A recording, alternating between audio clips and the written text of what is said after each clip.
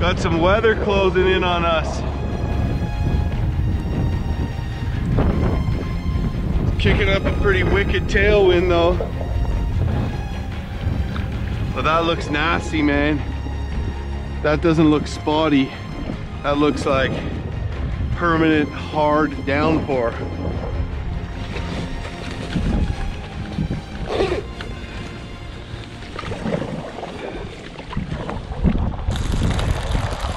It's pretty damp out here. Oh, Mother Nature, won't you hear me calling? Won't you help me guide my way home? Mother Nature, don't you hear me calling? Please help me, help me guide my way home. In the mountains all so far, looking to golden dropping birds. Paddle my canoe up the rapids, down the river. I wanna converse. Oh, hey, Mother Nature, can't you hear me calling? Won't you help me, help me guide my way home? Mother Nature, don't you hear me calling? I need you to guide my way home. Think about what you know, they say.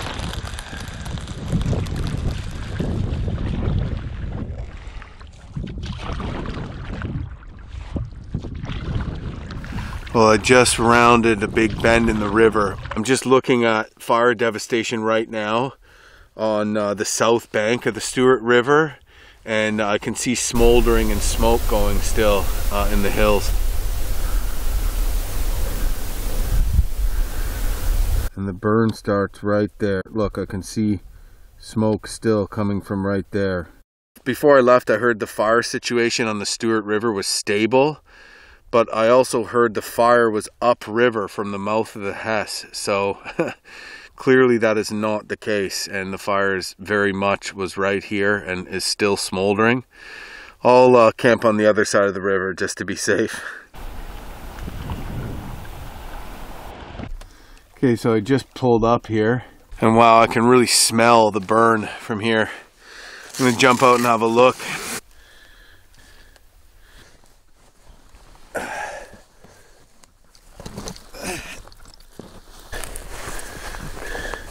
Crazy.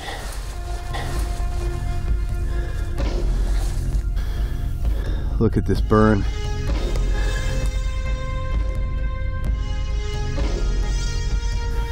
Still smoldering. Burnt this tree right down. Here's the other side of it.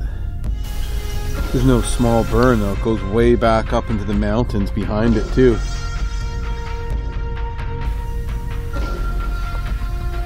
Now fires are natural. Actually the biodiversity of the northern boreal forest is largely fire induced but due to climate change in recent years there's been a lot of forest fires. When you're planning a trip in wilderness areas nobody might really know uh, what's going on. There's nobody there to stop you and say hey wait there's a forest fire. There's no park ranger you know there's no ranger joe saying oh you know you better not go into that area. There's a forest fire. Maybe they don't even know. The bush plane pilot doesn't know. You get dropped off you get caught in a forest fire. You got to be able to do your research because this is used at your own risk. This is a, a very remote wilderness area. Forest fires rip through here. And um, you know you want to be prepared. Burnt right out fell over burnt to a crisp. Okay well better get back and jump in the canoe. Try not to get burnt to a crisp. Oh man it's so late in the day I should just pull over and stop. It's probably about 8:30 right now but I'm gonna push on again. I don't mind paddling a little further getting a little closer to my destination because I hear the last I think 50 kilometers is really slow current um, before Mayo so I wouldn't mind getting a little further ahead now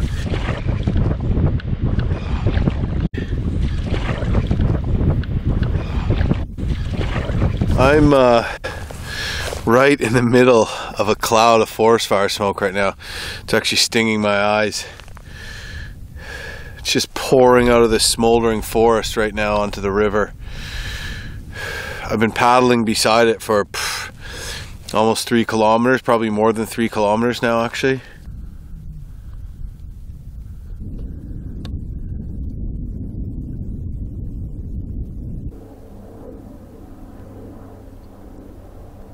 Well, it's 10:30 at night. I've paddled for 12 hours today. Oh, done about 50k. Uh, some forest fire smoke in the hills behind me. But I'm gonna camp here anyways. I'll know if the fire starts getting close if I get really, really hot. But it's just smoldering, so I think I'll be fine. But uh, yeah, I was gonna push on. Well, I did push on. I really wanted to get through this seemingly never-ending chain of huge S bend after huge S bend. Uh, but uh, you know, I just looked at the map and realized I'm not even halfway through, and it's just taking forever. So I decided to pull over and uh, call it for the day. I'm not even gonna have a fire tonight. I'm just gonna literally eat like a power bar and go right to bed so I can get up relatively early tomorrow. So this is home for the night. Smoke in the background.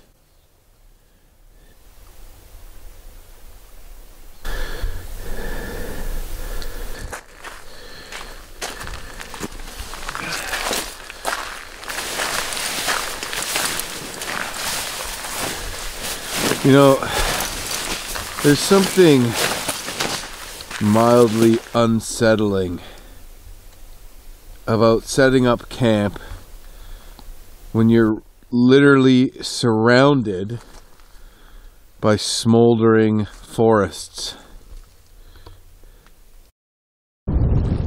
Experiencing some pretty substantial headwinds here. Um, this is going to uh, really put a dent in the time I make today. The wind was so bad there for a second, started blowing me back upriver. It's hard even to keep the boat going straight. They're so strong at times.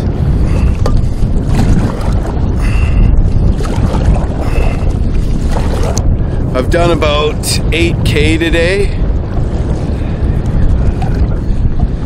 So about 75k roughly to Mayo. Uh, with this headwind, not a chance in France I'm gonna make it there anytime soon. I hope it doesn't stay up all day. Hopefully some of these bends will get me out of the wind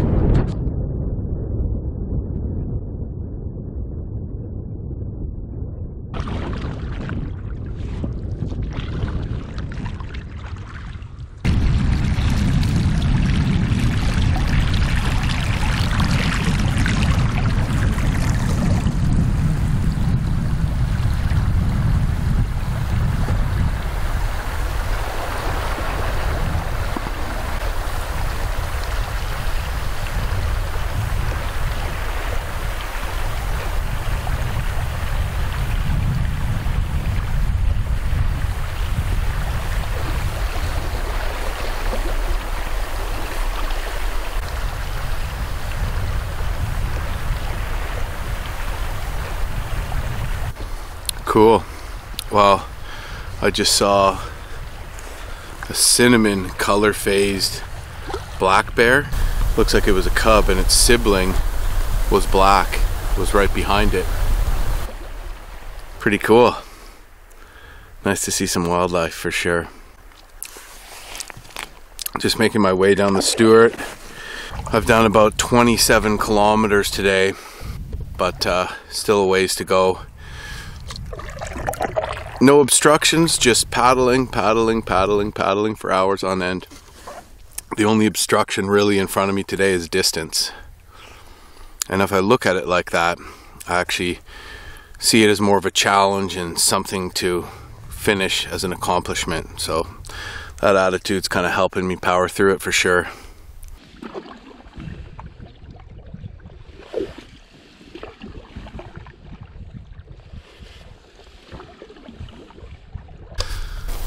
Just coming around a big bend in the river and there's a huge bluff and there's got to be 200 of these little uh, nests burrowed into the side and all these birds flying around. I think they're some type of swallow, but look at this colony of these swallows here.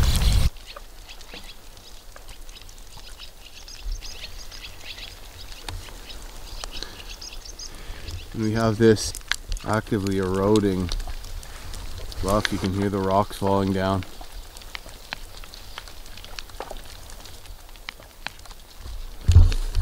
That is really cool. They're all just coming in and out of the nest. Tons of them flying around here eating bugs, keeping the mosquitoes down, I'm sure. There's just nests everywhere. This is awesome. Very, very healthy ecosystem. All along this bluff on any part of hard packed dirt. There's dozens and dozens of nests.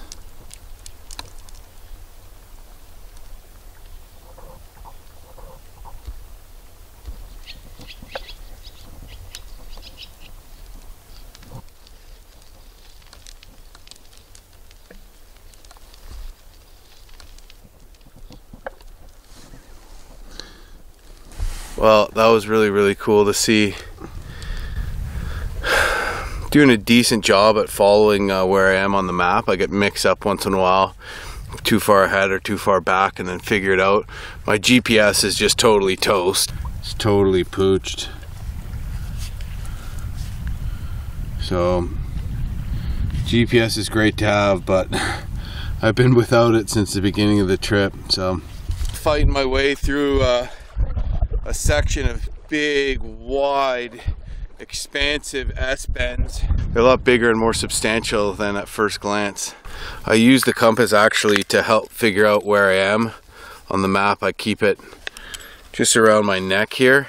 There's an easterly declination here, so that means that uh, you subtract 20 degrees um, from magnetic north to give you true north. What I'll do is I'll look on a river and I'll see what bend I'm on and I'll say, I think I'm here. And I say, well, then I'll think, well, that bend is going south. And I'll, I'll take my compass out every, you know, once in a while and I say, yep, I'm heading south. That's, that's where I am. That's the right way. Um, or if I see, oh, no, I'm going west. Okay, I can't be on this bend. So uh, definitely helps just to pull out every once in a while and uh, help to figure out where the hell you are.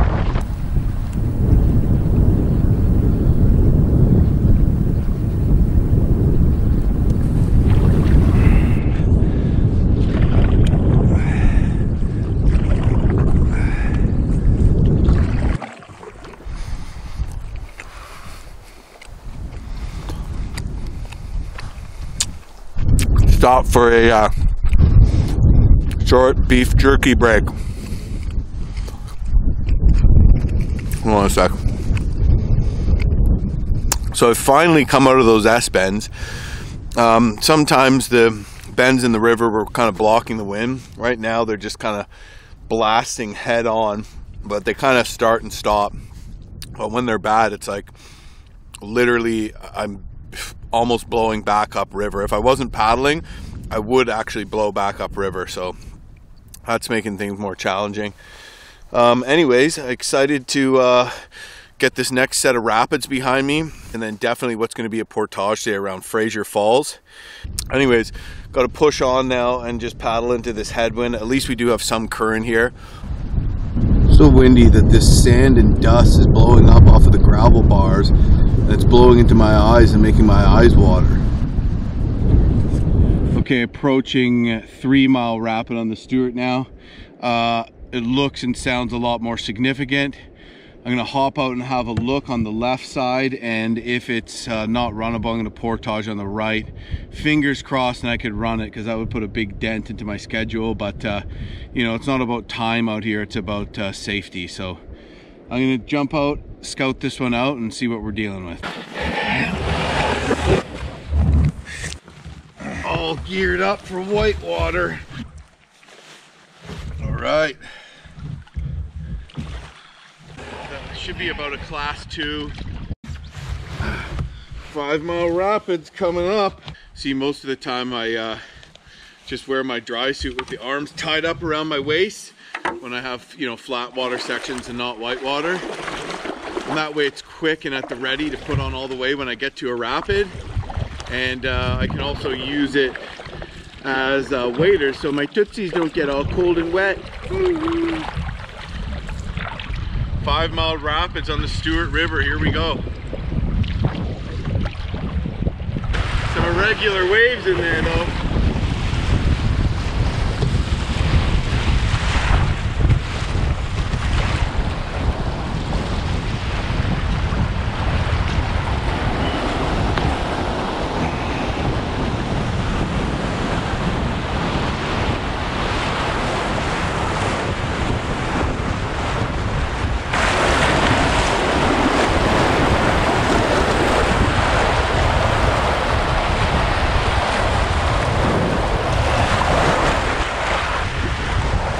No big deal. Class two. Some irregular waves in there though.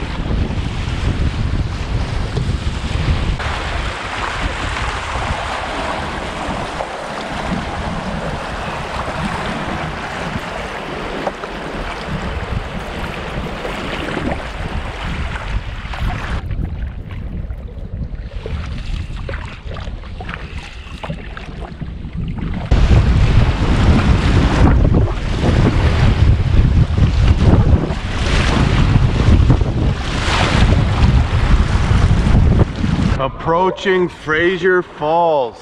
Portage is on the left. Better keep my eyes peeled. I'd say this definitely looks like a falls.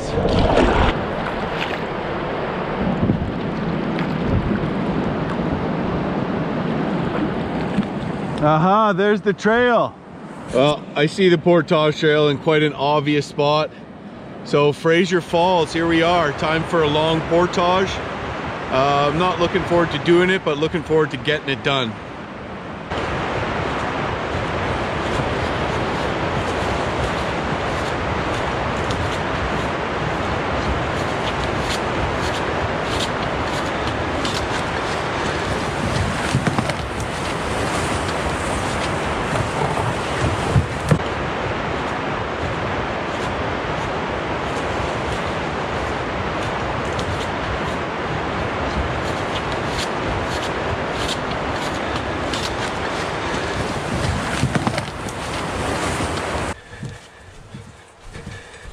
Hey bear! Saw some bear prints, fresh ones of a cub at the beginning of this trail, so let my presence be known. Hey bear! Hey bear!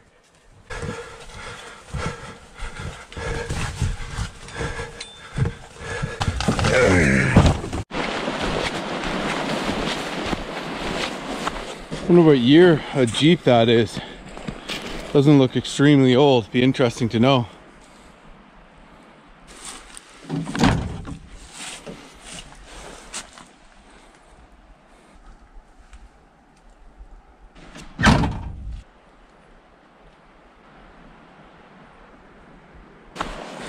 Looks like uh, someone cut this bark to make a moose call here. Can see the tree still doing well. As long as they don't take the cambium layer, bark will grow back.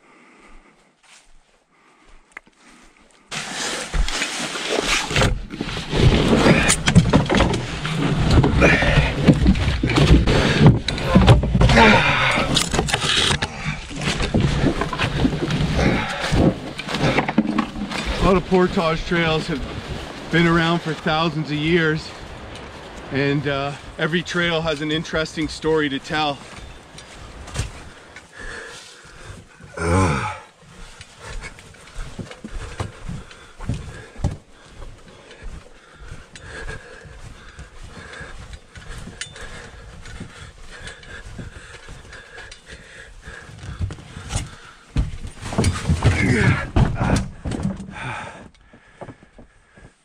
Oh, got sunny out.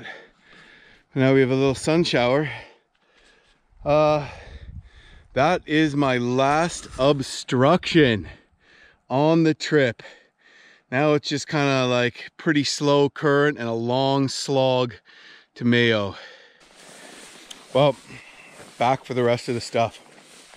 So Portage wasn't too bad. Uh, the trail uh, is really good. Obviously, it's still used mostly probably by people from Mayo. Uh, probably as a snowmobile trail as well when uh, the river freezes up so they can get around the falls. Campsite, decent place to camp at the bottom of the trail here and uh, some interesting historical detritus along the trail as well. Um, we have, looks like an old sink, an old wood stove just rusted out. Funny how at one time this was just garbage. That is a very old wood stove.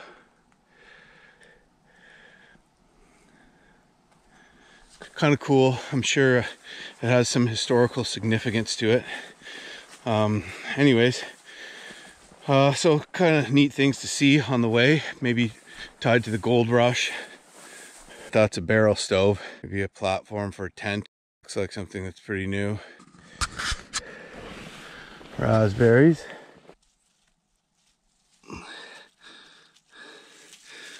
Uh, this is probably why I saw fresh bear prints on the trail.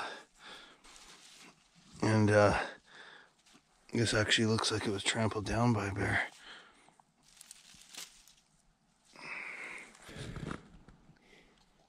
Mm, ton of them around here. Delicious. Oh, look at this. I didn't even see this. Cabin.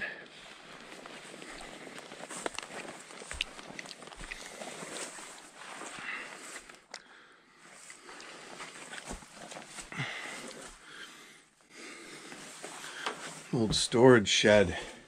It looks like it's been redone a few times, but it's got gold rush days written all over it. Storage shed, basically.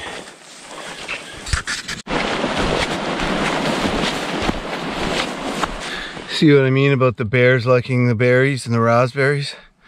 That is a gigantic grizzly bear poop. That's full of seeds. Just saw this little trail going in off the Portage Trail.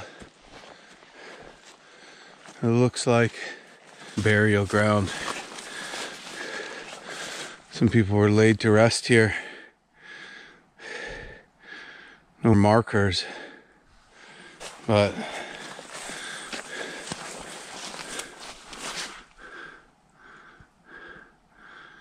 it's marked off as a, a cemetery.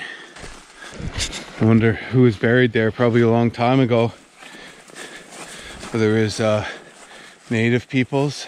Neat thing to go and uh, pay your respects at. Not something I was expecting to see along this Portage Trail. There's a book called Every Trail Has a Story. And that's just so true. And uh, it'd be fascinating to link all these artifacts and things together and learn what the story of this trail is.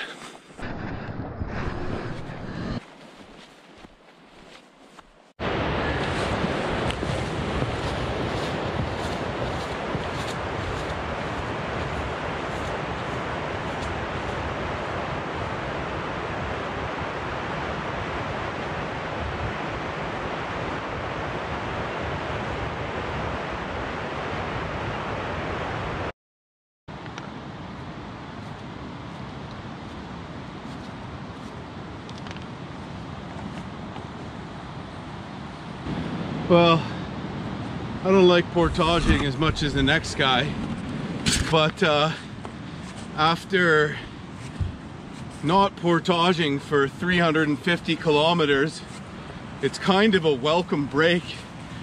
Anyways, looks like I'm gonna have to uh, paddle late into the evening again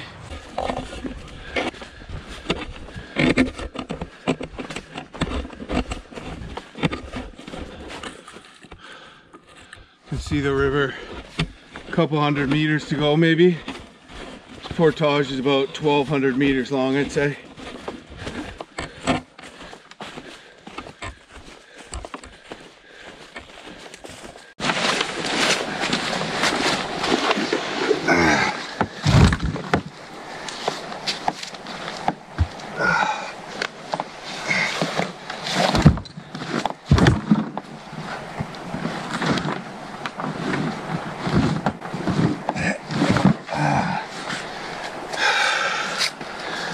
One more trip.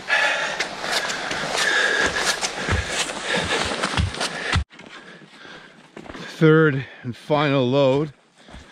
Just to give you an example, if you have three trips, for every trip you have to walk back and get the second load. So if this portage trail is 1.2 kilometers, you have to count all the times I've walked back to get a load too. So I've walked six kilometers as of now. Finally done this portage and the last obstruction for my trip here. Next thing, Mayo. I don't think I'm gonna make it there today, but I'm gonna push on for a bit.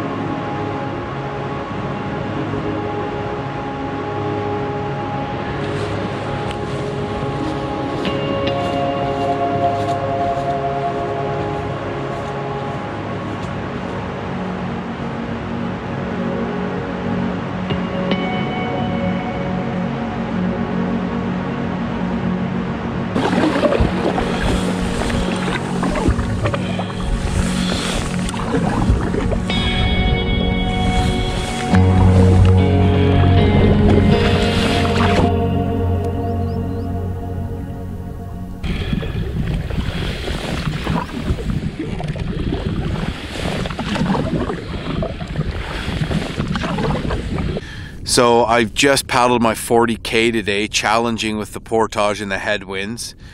Um, I'm 45k from Mayo, and at 1 p.m. tomorrow, there's a vehicle shuttle that Up North Adventures runs, which I can hop on, and it'll give me a ride back to Whitehorse, and I'll rearrange my flights to fly back home because I'm about, I think, three or four days ahead of schedule right now.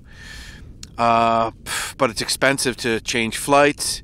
And if I miss that shuttle, on top of the flight change plans, I'm also going to have to get a flight from Mayo to Whitehorse with all my baggage. So basically, what I'm thinking is the best thing for me to do right now is just to beast paddle 45k through the night back to Mayo and make it there in time for the one o'clock shuttle tomorrow afternoon. That will probably save me a thousand bucks. So, what would you do? Um, I guess I could just camp out here for an extra four days. Uh, but uh, I miss my family and I'm pretty much done the trip without having to push it super hard or anything. So I don't need more time, and um, I want to see my wife and I want to see my little boy.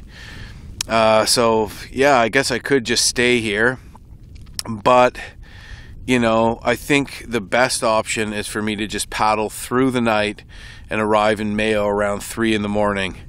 And uh, that's what I'm going to try to do right now. It's going to be a long, long, never ending slog, and I'm not looking forward to it, unfortunately. But it is what it is.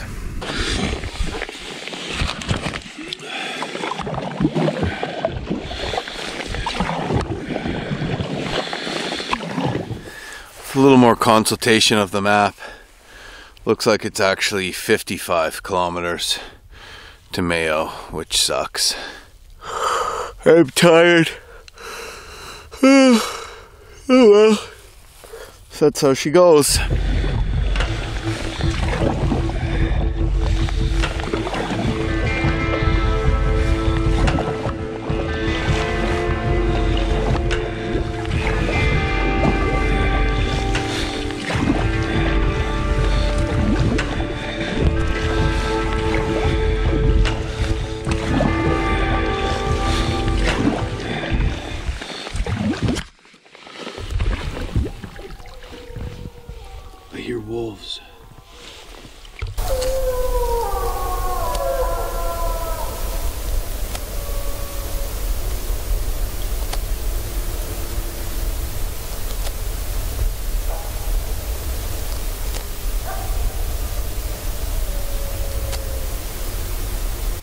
Wolves howling. See if I can call them over here.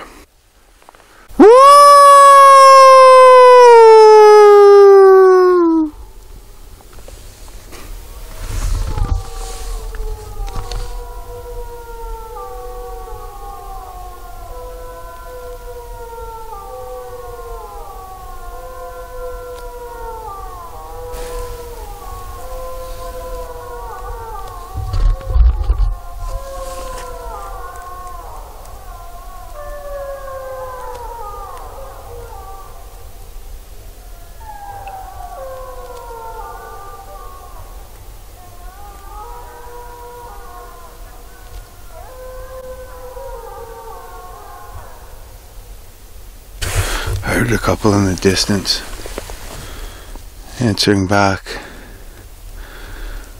But I was hoping to get the pack that's right off here, that's the main group howling, wondering what the hell I am and coming over here. I don't know if my wolf call was up to par though.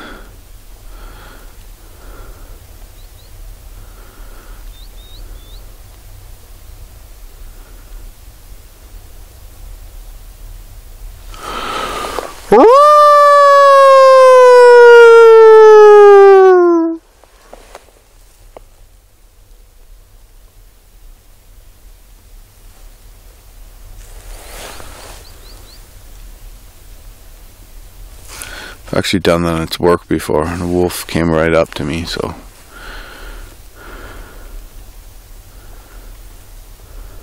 Maybe not today, though.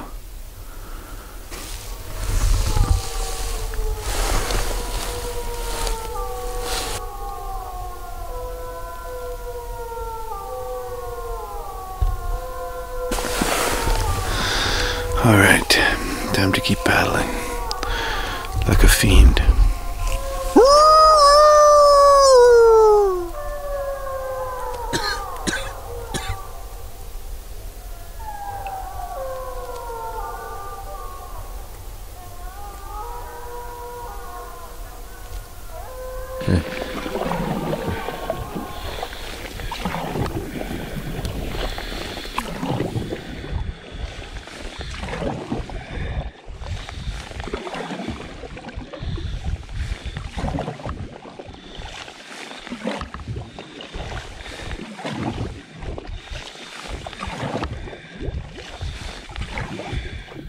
Just a porcupine out for an evening stroll. Oh dum dum de dum dum dum dum de dee dee hey de dum de dum. It's running full speed. Just kidding. I like porcupines.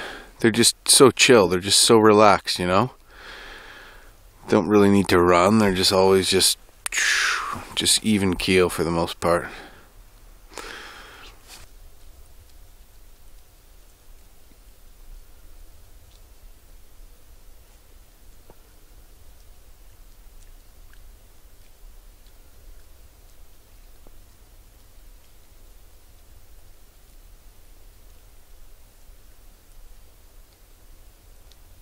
Well, I'm hoping this is about as dark as it's gonna get. Uh, it's also cold and it's raining. So I'm hoping this hasn't been a foolish decision, me deciding to paddle through the night to make it back to Mayo. I'm worried that maybe I'm gonna freeze my ass off and uh, get soaked and uh, you know I'm not too I guess I'm not too worried about obstructions like sweepers in the river because there's really not much current so I think I'll be okay but it's just a little ominous paddling into near darkness while it's raining um, I'm usually always sleeping by now, so I don't really know how much darker it gets. My guess is that it just doesn't really get that much darker. It's just gonna stay like this for a long time, so hopefully my eyes adjust. So yeah, that's my just check-in with you on my uh, all-night paddle back to Mayo. if I make it there tonight, I will have paddled over 100 kilometers in one shot. So that's pretty impressive for me, I guess. Anyways, just gonna keep paddling and uh, I'll check in with you in a bit.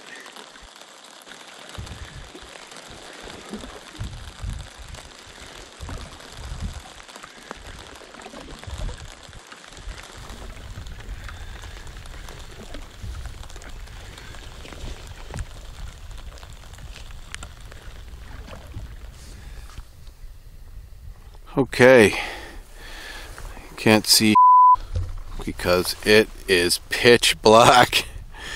I don't know what time it is because I can't see my watch where it is. It's in my map case, but uh, it's probably about 1 1.30 and I keep saying I hope this is as dark as it's gonna get but I think it is um, hardly any current and still pushing on on this night paddle the thing is, it doesn't stay dark for too long and the sun starts coming up, so.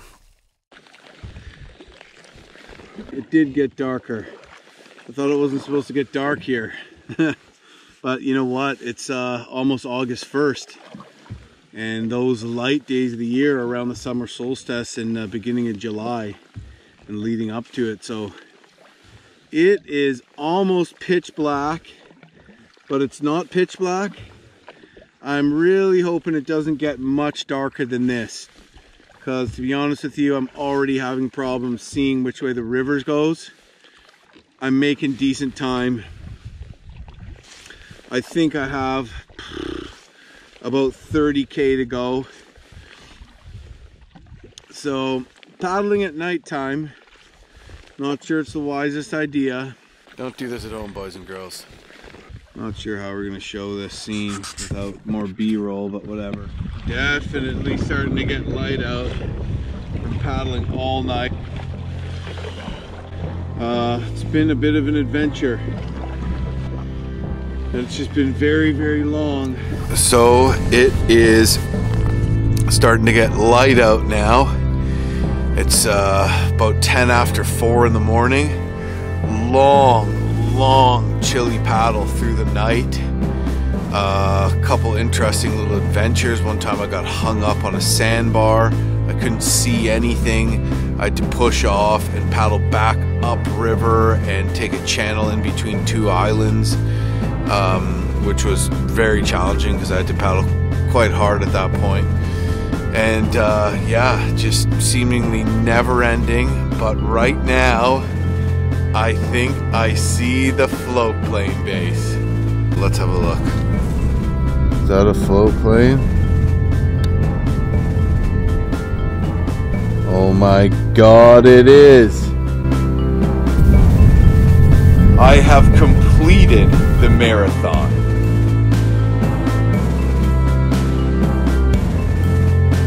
This trip surprised me around every corner, finishing in the wee hours of the morning. And uh, it has been unbelievable adventure and excitement around every single corner from the very beginning until the very end. Even the times when there were long slogs of river paddling with not too many obstructions to deal with. I'd see, uh, you know, a, a, fizzling out forest fire. I'd see a family of grizzly bears. A raging rapid would appear that's not even marked on the map. And just from the beginning, uh, doing this trip with no notes, just Government of Canada topographic maps and running Keel Creek and having to bushwhack portage endlessly to get to the Hess and then just those sets of rapids one after the other and the mountain scenery it's just been absolutely incredible. And uh, to finish it ahead of schedule like this to me feels like a pretty big accomplishment. And uh, you know this is definitely experience I'll remember for the rest of my life it's always a little bittersweet when you finish a trip because you're like, yeah, I did it. But then at the same time, you're like, oh man, it's over. I'm happy that I finished it, but I'm also sad that it's over.